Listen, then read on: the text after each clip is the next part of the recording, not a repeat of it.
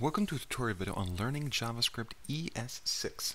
In this video, I'm going to talk about arrow functions. A very common usage in ES5 and other versions of JavaScript are the use of anonymous functions to do some small task. It is very common to see them when moving through data or dealing with other tasks that uses a quick function. Usually we'd write an anonymous function that is a function without a name, and we do some small task. Well, arrow functions in ES6 basically fill that same hole, but they allow us to reduce the total syntax when writing them. And so we can see two examples right here. The first of which, lines 1 through 12, are the ES5 version, the very common version we might see in other, other versions of JavaScript.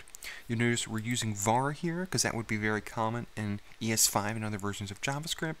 I'm defining a function, I'm defining another, I'm defining an array that is, I'm defining an empty array on line 5, and then I'm using for each to move through those.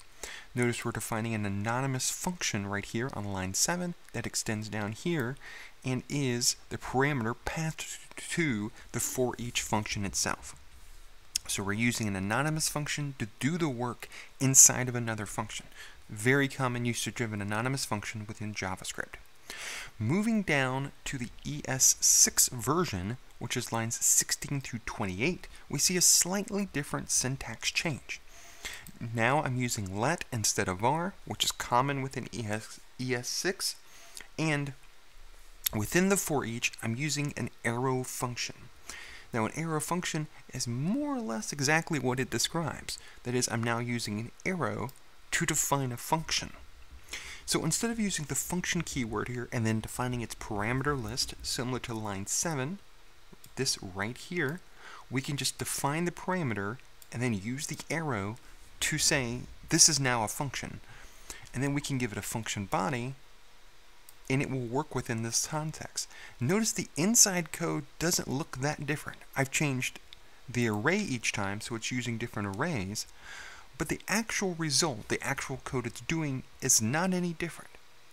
The simple change between these is that we can use arrow functions, this simplified shorthand syntax, in place of anonymous functions. And in fact, in nearly all cases where we would have used an anonymous function, we can just use an arrow function instead, and that will reduce the syntax and actually lead for a greater readability in some cases. So notice instead of having a function and then parameter list v, we just have a v, this is the parameter, and this arrow standing for an arrow function. And if I run this, we see the results are exactly the same. The code internally didn't really change that much, but instead of using an anonymous function, we're now using an arrow function instead. And again, this is just some extra syntax ES6 has introduced to allow us to shorthand this. This very common exp expression we see especially in using for each and other common functions like that, where we supply a function as a parameter that does something real quick.